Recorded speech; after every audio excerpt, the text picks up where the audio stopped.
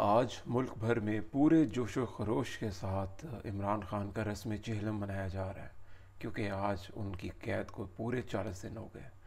तो टेक्निकली आज उनका चहलम है।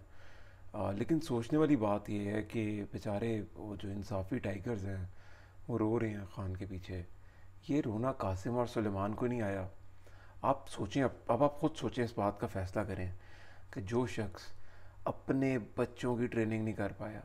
कि उसके बच्चे इन चालीस दिनों में एक दफ़ा आके कह जाते डैड, हम आपको देखना चाहते हैं। या एक फ़ोन कर देते व्हाट्सएप का मैसेज कर देते। देखिए, छोटी सी भी एक व्हाट्सएप के ऊपर, हेलो, हाय, आई होती ना? तो ये तहरीक इंसाफ वालों ने तबाही मचा देनी थी कि कासिम सलमान का रो रो के बुरा हाल हो गया, वो परेशान हो गए हैं कि हमारे डैड का क्या हाल है, वो जेल में नहीं, उनको देख पा रहे। लेकिन कुछ नहीं, कैसी औलाद? वो वो एक मूवी थी, गंदी औलाद ना मज़ा ना सवाद। अच्छा औलाद से याद आया कि इन्होंने लोगों के बच्चों का भी बड़ा कर किया। देखें इमरान खान की जो कम्युनिटी है, जिनको हम यूथिया बोलते हैं, वो तो बेड़ागर हुआ ही हुआ। इन्होंने परवेज़ लाई के बेटे का बेड़ागर कर दिया। आप देखें, वो अपने बाप के साथ क्या सितम जरीफ़ी है कि वो जैसे ही उसके बाप को कोई जदोकोप करते हैं पुलिस वाले तो वो एक ट्वीट कर देता है।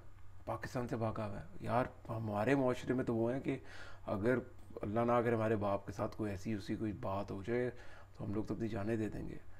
तो ये शख्स इसने ट्रेनिंग की है। ये मैसेज मेरा ख़ास करके उन माँ बाप के लिए है जो परेशान है अपने बच्चों से कि वो उनका कसूर नहीं है, उन बेचारों का, ना आपका कसूर है। वो एक ऐसे इंसान कहते चढ़ गए थे जिस इंसान ने उनको, जो अपने बंदों की, बच्चों की ट्रेनिंग नहीं कर पाया, उसने आपके बच्चों की ट्रेनिंग क्या करनी थी? तो अब तो आज रस्म चहलम है। उम्मीद करता हूँ हम हर साल उनको याद करेंगे और ये चीज़ भी याद करेंगे किस तरीके से पाकिस्तान के अंदर उन्होंने पाकिस्तान का बेड़ा गर करने में अपना किरदार अदा किया। तो दिल ने आप लोग अभी इस पर नीचे भी आएँगे, गालियाँ शालियाँ देंगे। आप क्या कर सकते हैं? आप फेक अकाउंट बना सकते हैं, गंदी गालियाँ दे सकते हैं, मगर आज मुल्क भर में इमरान खान का रस्म चेलम अच्छा और मैं एक कोशिश करूँगा, अगर ये मेरी वीडियो को देख रहा है, यहाँ तक कोई पहुँच ही गया तो प्लीज़ अगर कोई भाई डिज़ाइनर होना तो आज वो चेहलम वाली फ्लैक्स बना दें इमरान खान की तो मज़ा ही आ जाए।